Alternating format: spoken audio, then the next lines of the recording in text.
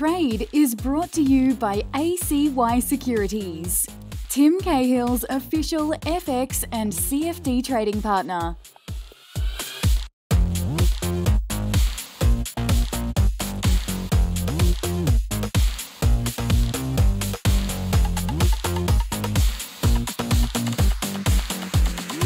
Hi, welcome to the trade. Wonderful to have you here with us.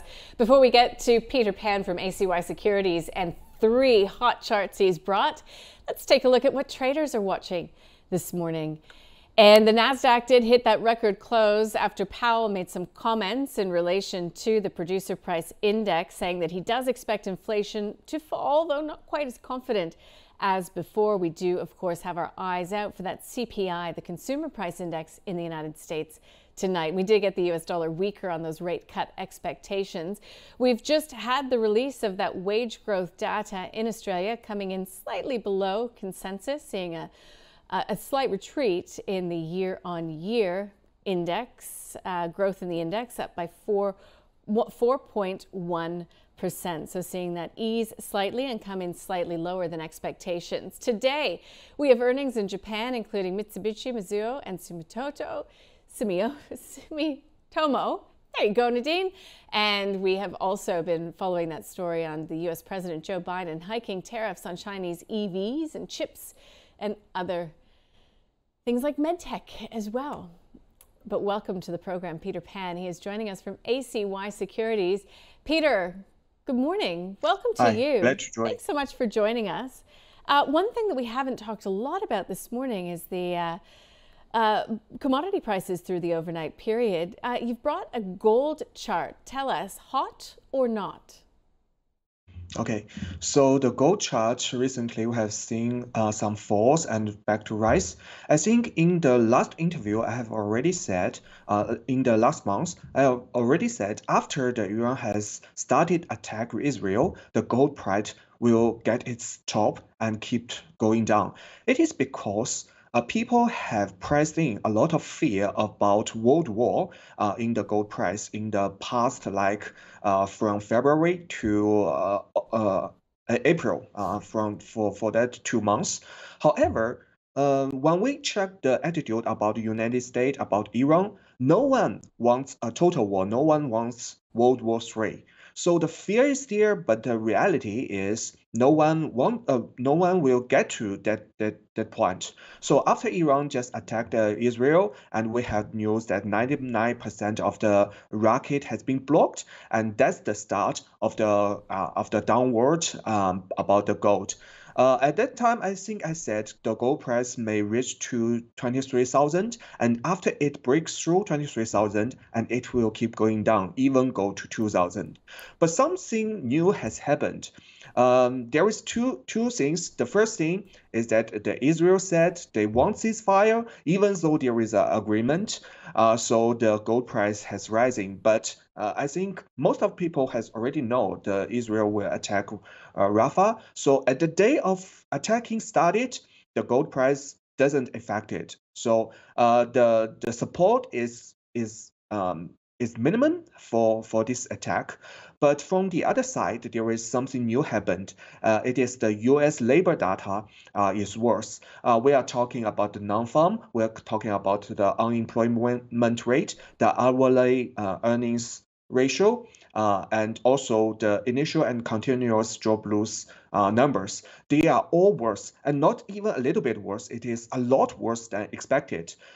then it started give pressure to the U USD, US dollar, and it gives support to the gold price. So recently, what we are focusing on is not about the war. It is about what the US data will go.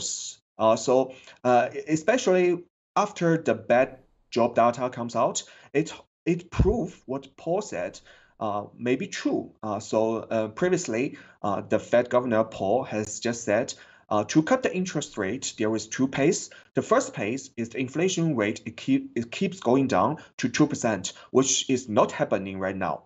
The other pace is that the labor market has started to unexpectedly to be weak. So uh, after those data comes out, the second pace may be true. However, we are still focusing on the other data, especially for today. We have retail sales data, we have NAHB uh, house ma housing market data, but most importantly is still the inflation data. To, tonight, we will have the CPI data. Uh, so the expectation for the CPI is 3.6 3.6%, which is much below the previous uh, previous data, but I don't think it will be the case. Um, recently, the Wall Street uh, opinion about the CPI has been divided. We have seen the uh, Standard Chartered and also Morgan Stanley has said that in Q2, uh, in, in the second quarter, the CPI or like let's say the core inflation rate will going down very fast. I don't think it's the case. It's because the housing, the housing um, inflation is keep going going up uh, very fast.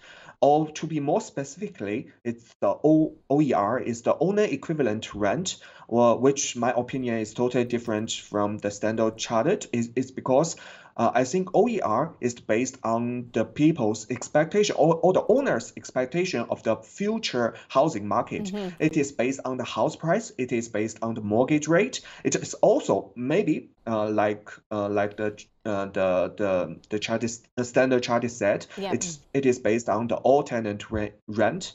However, I, I think um, the mortgage rate is high, the housing price is not reducing, it will support the OER and it will support the core inflation rate. So to, to be honest, I, I think tonight's CPI it, it will perform like yesterday's PPI, will higher than expected. Uh, it will be 3.7% or 3.8%. And at that case, I think the gold price, uh, the US dollar will goes up um, after the CPI comes out, and the gold price will start again going down, no matter about the war where, where the war will go. So I my opinion is that in the few uh, in the further months, the gold price will keep going down, or maybe going breakthrough to 2300. Got it. Thank you. Uh, look, just in the interest of time, we're going to go straight to GameStop. Unreal how this has performed, um, even pre market with Roaring Kitty coming back. Look at that chart. Just very quickly, tell us where to from here in your view. Okay, so uh, recently the GameStop, let's first talk about the fundamental. Fundamental is very bad.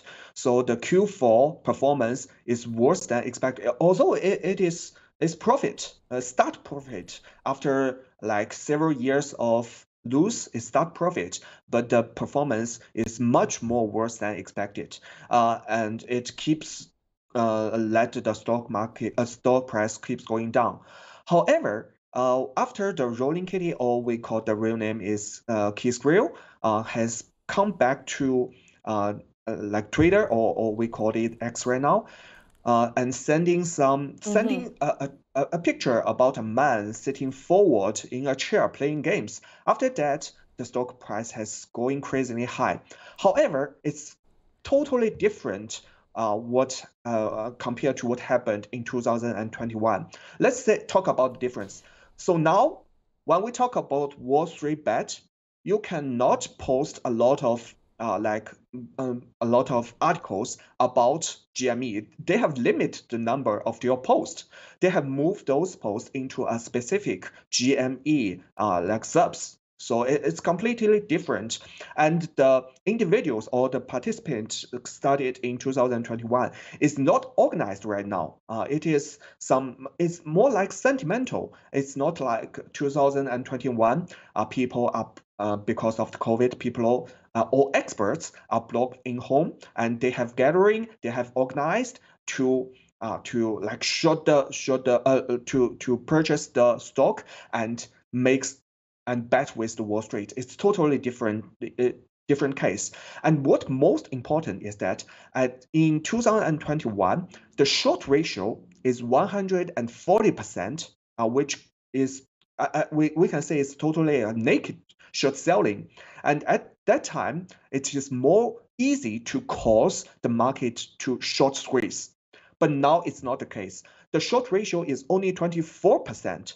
Uh, so it is hard to cause a short squeeze right now, and especially when Wall Street or those organizations has already know there will maybe um, this uh, will there may be this kind of situation start again.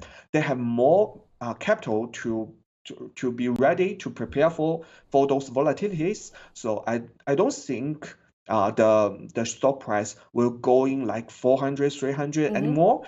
Uh, but but still we need to uh, consider uh, another upside risk is is about maybe Musk, uh, Elon Musk will say something about uh, or or about other influencer will say something, but the difference is uh, Wall Street is ready now. All right. So don't buy it.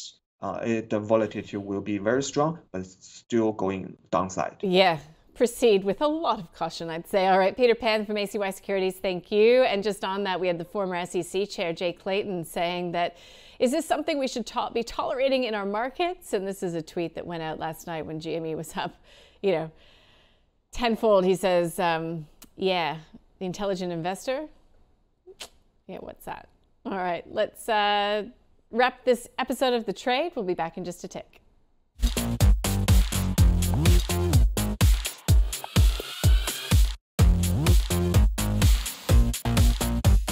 The Trade is brought to you by ACY Securities, Tim Cahill's official FX and CFD trading partner.